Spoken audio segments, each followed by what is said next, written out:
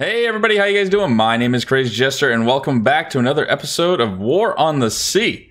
So in the last episode, as you guys all remember, we did an incredible job of taking out that uh, battleship Tennessee. I think that's going to do a huge number for the United States Navy, especially in their war effort. Sent that right down to the bottom of the ocean. We have the I-15 that's going to head back to uh, the Shortland Islands, and I'm only sending them there because I'm going to have this next group of uh, ships bring supplies down, and then once we have the 3,000 supplies that we need, we'll upgrade this to a tier 3 port, and this I-15 will now be able to just resupply here. I also saw that they can actually, they can get 30 troops on board, which is like perfect for just dropping 30 troops off at like Vella Lavella and uh, this one, because then we get a, a lot more points at the end of the week, right? So Right now, I think all we're going to work on is just trying to continue shifting all those forces from Rabaul all the way down to the Florida Islands, get that invasion force up. Hopefully, we take the actual Florida Islands this episode. That'd be very nice. And uh, build up the forces and start working towards Guadalcanal. It's, uh, again, I think it's going to take about 10,000 troops just to even put a dent in this. And uh, we're still keeping it blockaded. We are not going to let any ship in or out. So we're going to completely blockade Guadalcanal here and keep an eye out for the United States Navy. So without further ado, let's get into this and let's hope we run into something, huh? All right, looks like we might have our first encounter right now. It is 0059 hours and Task Force 7 has been encountered, which can only be one thing because there's no planes in the area. It's a submarine. It's a submarine. Holy hell. Yeah, it is. Jesus. And that was fast on how it acted. Holy hell.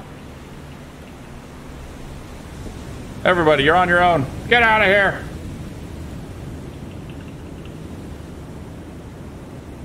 Woo! All right. Let's go ahead and get sonar on, as we are pretty much heading right towards this thing. Let's lower speed down to 12 knots. Holy hell, that was fast. Oh my gosh, and there's another barrage right there. Look at that. I'm telling you, these uh, these torpedoes, I gotta tell you, they always feel like they're just heat-seeking torpedoes because they're always turning right towards us. All right, we managed to miss both barrages of torpedoes. That was a lot of torpedoes. We are on the hunt now, and it's got to be right around here. It's the only thing that makes sense. So, where are you, Mr. United States Submarine? Oh, and we found him there. It is. All right, we managed to get over the top of this thing. Let's go ahead and get three salvos going at five seconds. And we are going to be dropping here momentarily. And as soon as we get to the front of this thing, I think it'll be perfect. And fire. All right. Death and destruction. Let's go. These are looking good, I gotta say. Go for that propeller. Oh yeah, that was right on top of it. Perfect. And it's trying to turn. I think it might be dead in the water, actually. Oh my gosh. Let's go in reverse three. Beautiful. And there it goes. S-class sinking. That was a good... Holy shit! I was not expecting that. All right, well, it completely disintegrated. That was a very good uh, shot on that part. 21 out of 36, so we still have plenty more. Let's go ahead and retreat. That is one less submarine to worry about. Good bloody work, everybody. All right, pushing on. Well, Task Force 4 here has the remaining supplies that we need that we have. So it's uh, 16 and 16, so that's going to be well over 3,000 supplies for the Shortland Islands. We'll finally get that port upgraded, which will be nice. That's uh, one objective I wanted to do. And uh, looks like we have... Oh, hello. Mark 55. Are you the oiler? I believe it is the oiler, actually. Yes.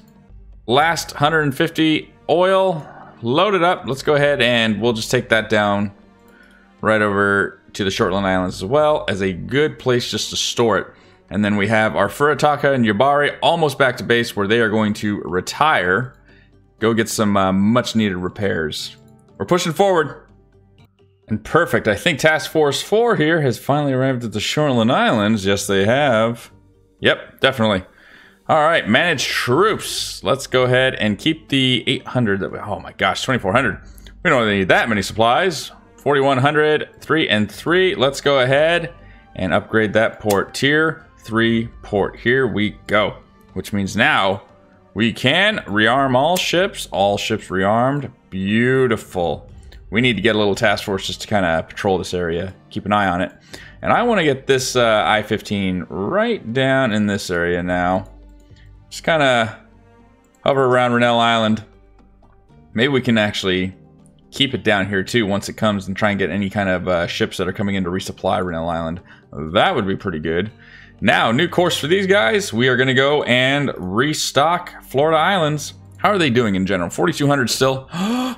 do we have full control? It says we do, but it's still smoking. We're going to find out. Hell yes. Our plan is coming together beautifully, let me tell you.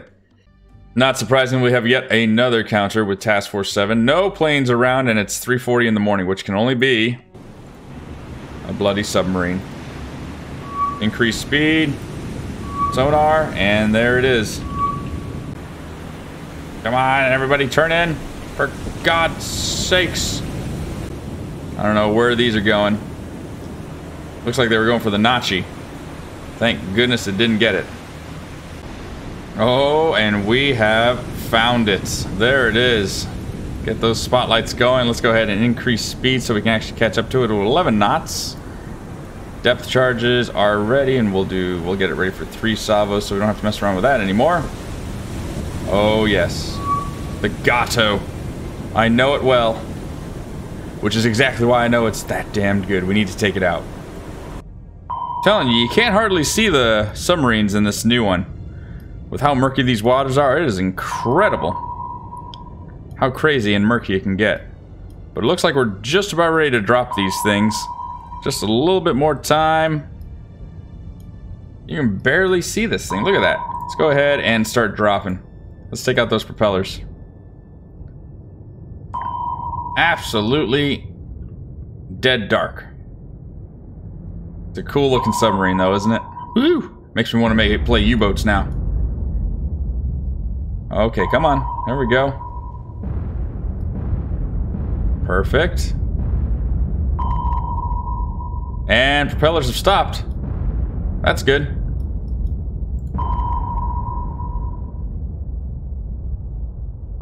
Got some more depth charges going down here. Hopefully, it's at an angle. But boy, we just can't seem to get it. This was seven seconds. It's way down there. Come on. He should be good right here. There we go. That was able to do it. All right. Gato sinking. Let's see our depth charges. We are completely out. Holy hell. That's okay, though. It was worth it. Send as many depth charges as we need down there to get those guys out. We need to get this guy back up here to rearm the Shortland Islands. Please do. Onward.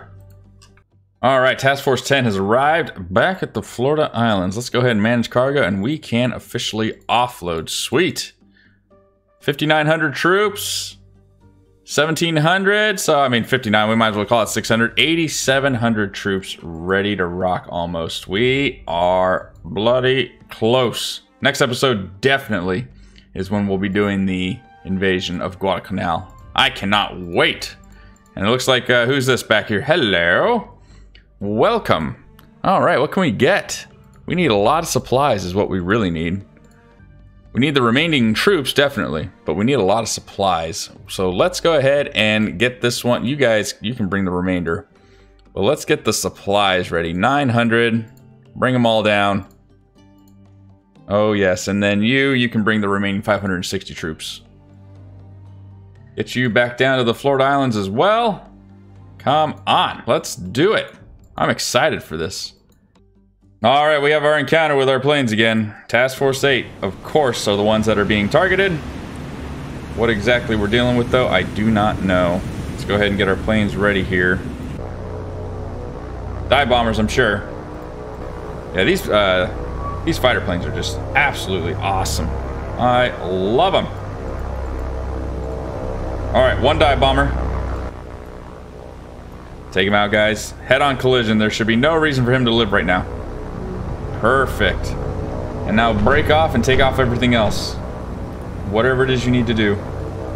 Oh, we have a real dogfight on our hands here. Come on. They're all running away. Are you actually going for this guy? I hope so. Because you are on a direct path of messing him up.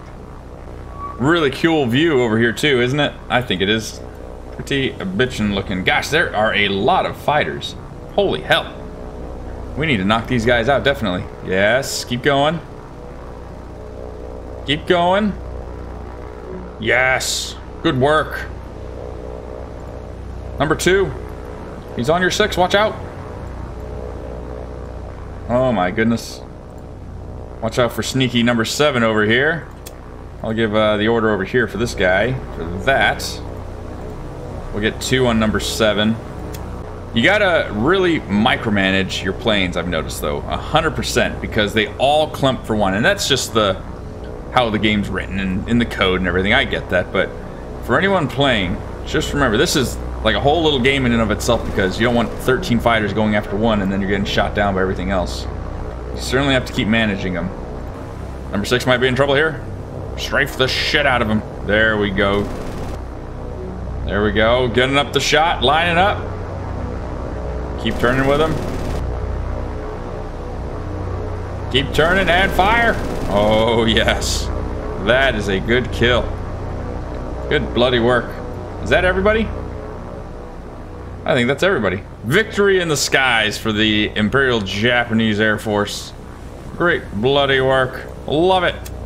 Go and retreat, confirm. That is it. Nine aircraft shot down, and we didn't lose one. We'll keep them in the area and see if anybody else wants to try and mess with us, but I don't imagine they would. Um, 9,000 supplies, 55, 5,900 troops. We're going to have enough supplies here. 3,000 supplies. We're definitely going to have enough supplies once that invasion comes. I can't think of... We're just going to have to keep pulling it. We still have 5,000 supplies to go. It's interesting, though, after the week, we haven't gotten anybody. Maybe after this next week. We're on day 12, so... Only, what, two more days and we'll have two weeks by. That'll be our, oh, command points. We got another resupply, 82 command points, which means we can, uh, hello. That must have been for earlier ships that we released for repair. That's good. We'll keep an eye on that. I-15's doing this. Let's continue. Oh my goodness. Hello. This is good. I-16 has encountered 10 ships Maybe one CA, maybe one CL. Oh my gosh. Begin. I want them all dead. What are we dealing with here? I can't see them right now, but I'm sure they're going to be popping up here. And here they are. Holy hell. Destroyers galore. And then I imagine all convoys. Yes, they are. Look at that. Oh, and a heavy cruiser. Ooh, I think we need to go for these cargo ships, though, honestly. I really feel we need to go for those. We don't care about destroyers. Heavy cruiser would be nice, but it's not that big of a deal. We need these. Holy hell. And we need to get in position to do it.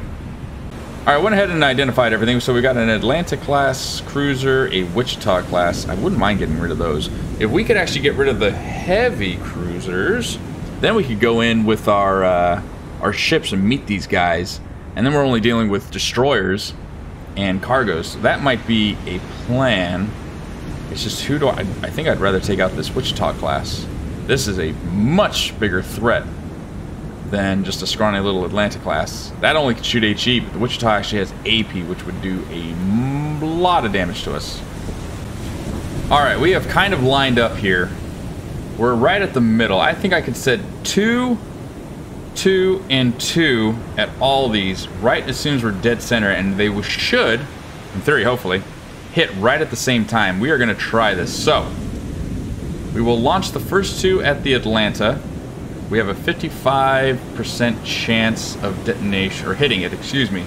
So, let's go ahead and get this going. And firing at the middle cargo. Are these going to hit? I have no idea. But we better give it a whirl at least. Here we go. Knock out these guys so they have to retreat to base and then go after them with the Mogami and everything. That would be great. But as soon as the first torpedoes hit this Atlanta, if they hit, they're going to all increase their speed, which is why it might not work for the Wichita. It might, though. Who knows? We'll find out. It looks like they're all kind of in line with each other, so we might get pretty lucky here. Wichita hit. There we go. Or Atlanta, excuse me, that was the Atlanta. Looks like the Wichita... Ooh, it took one. There we go. That's good. But everyone else is going to speed up. I don't think... No, we're definitely not going to hit the middle cargo. That's okay, though. Let's see what kind of damage we did, though, shall we? That looks devastating. Report. Heavy and heavy for the Atlanta, moderate and minor for the Wichita. That's okay. How's our torpedoes looking here? We have 14 left, two in the tubes and ready to rock. Nice. The Atlanta might have to retreat after this. While we're away, let's go ahead and we'll retreat on out here because I don't think anything significant is going to happen. Heavy and heavy, heavy and moderate, or moderate and minor, excuse me. Hell yes. Good job, I-15. Let's go ahead and get these guys right around here, keeping an eye out. It's 1 in the morning still. We want the Akatsuki to help as well. Let's get the I-16 also swarming around this area. Alright, we might have gotten lucky. It's been about four hours, and I haven't run into that ship column yet. We might have knocked out the Wichita and the Atlanta enough that they all had to turn around and go back, so... Hey, that's okay with me. As long as they turn back, that means no supplies again are getting to the Florida Islands, certainly not to Guadalcanal. They didn't slip by, because we would have caught them with the Mogami and the Akatsuki and everything. But they didn't, so that's, uh, that's great. Hey, I'll take it. We are still holding down Guadalcanal, having our troops come down with Task Force 4. This is going to be a really big help with all these supplies and extra troops. And uh, we're just waiting for... Hello, these guys are back here, so they can... We can actually just manage cargo right now while we're waiting. Go ahead and pick up the remaining supplies and troops. There we go. And, uh, God, let's just head on back down. On a course there as well. Hell, we didn't get any big ship battles. I was kind of hoping for one this uh, episode, but you know what? We did take out two submarines, and then we just knocked out, I, I feel like we knocked out the Atlanta and uh, Wichita class. They're going to have to go back for repairs, I think, because that was a pretty devastating blow by the I-16. Great work on its part. So we're, I mean, we're pushing. We're pushing. I think next episode, it is safe to say that I will have a big enough invasion force at the Florida Islands and Mal Malaysia, excuse me, Malaita, that we're going to push into Guadalcanal. We are officially going to start the invasion of Guadalcanal, and I think 10,000 troops is going to be more than enough to at least tip the scale over halfway, and then we'll just keep ferrying down troops. So I'm pretty excited about that, and I hope you guys are too. But that's going to do it for me, ladies and gentlemen. I hope you guys have really enjoyed the episode. And if you have, please comment down below. Let me know you did like the episode. Let me know what you liked about it. Uh, please consider giving the video a thumbs up. It really helps me out, helps the channel out. And for anyone that's new to the channel and you guys like this series, if you want to see more like this coming out really soon, please consider subscribing. I'm going to get back at it and start ferrying over these troops. And uh, come next episode, we are invading Guadalcanal. Until then, though, I hope you guys have an incredible day. Take it easy, okay?